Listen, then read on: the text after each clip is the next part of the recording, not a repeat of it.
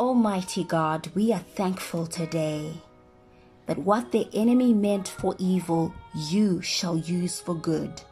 Father, we thank you that you are giving beauty for ashes. Father, we are reminded of Joseph in his season in prison. And this morning, we know that for every prison, there is a palace. Lord, we are reminded of Daniel, Shadrach, Meshach, and Abednego in the season when they were thrown in flames. Father, you gave them beauty for ashes.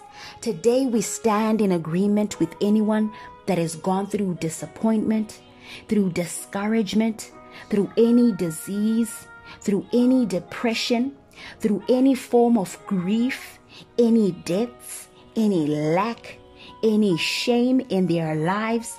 We're standing in faith for their restoration. For Father, according to Isaiah 61, verse 3, you are binding up their broken heart. You are restoring liberty to the captives. You are releasing from the darkness the prisoners. You are proclaiming the year of the Lord's favor. You are comforting the mourning. You are providing for those who grieve in Zion.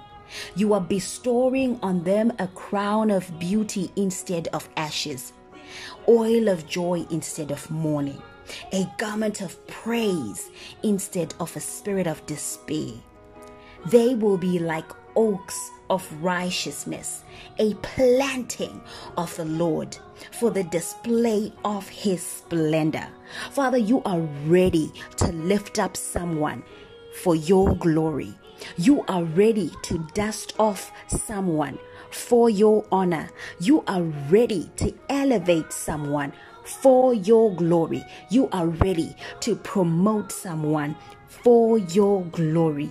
You are placing upon them a crown of gladness. Father, you are restoring what the locusts had eaten. And so we stand in agreement and we stand in faith that every discouragement is gone.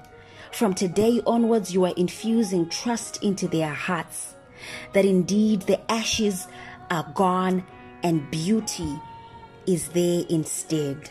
For every person that has been disappointed, Father, we thank you that you are infusing hope they are receiving new hope for the future. They are receiving new strength for the future. They are receiving new grace to carry on. They are receiving new faith to walk the journey again with zeal and excitement. Thank you that you are restoring their passion. Thank you that you're restoring their love again. Thank you that you are teaching them to love again.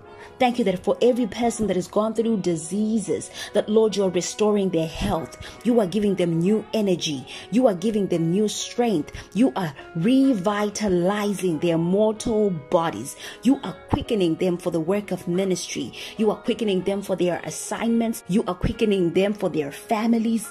In the name of Jesus, we declare that there is a dusting off of all ashes. Thank you that you are removing all shame. You are taking away the shame of the past. Your word says, You shall know no shame of your youth. Instead of a spirit of despair, you are giving them a garment of praise.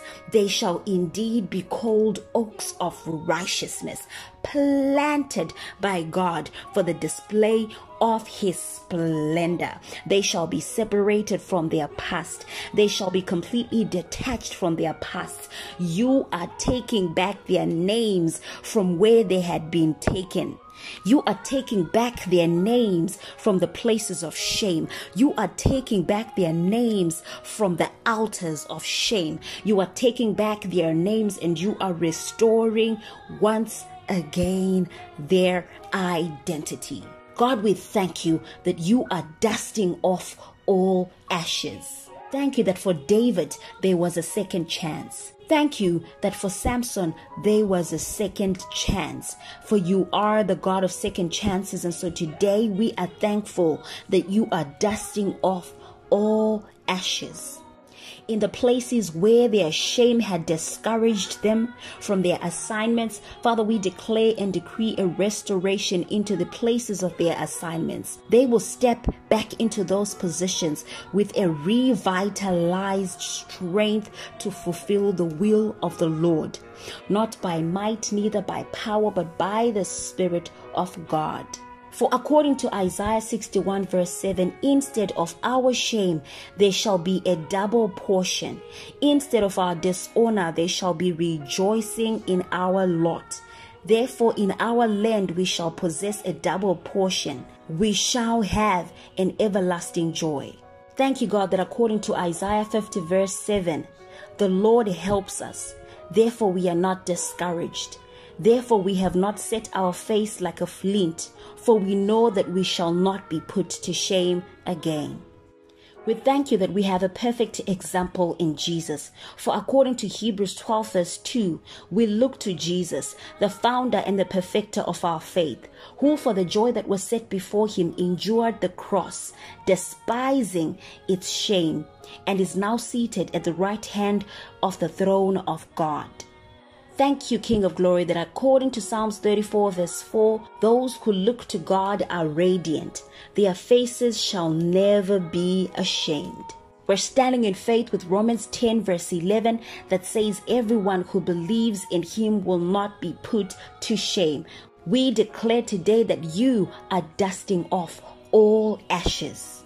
Father, we refuse to be connected to our past for according to Romans 8, verse 1, you say, There is therefore now no condemnation for those who are in Christ. Thank you that according to Psalm 3, verse 3, you are our shield, our glory, the lifter of our heads. So we do not fear, we are not ashamed, we shall not be confounded, we shall not be disgraced, we shall know no shame of our youth and so as we end today, we say, Oh God, crown our heads with gladness.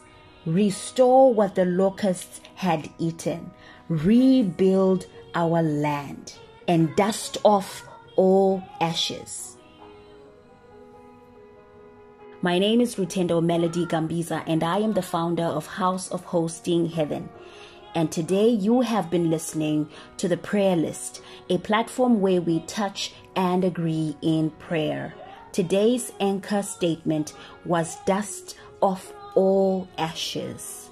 I hope that you touched and agreed and that you share this video with someone who you know needs to touch and agree.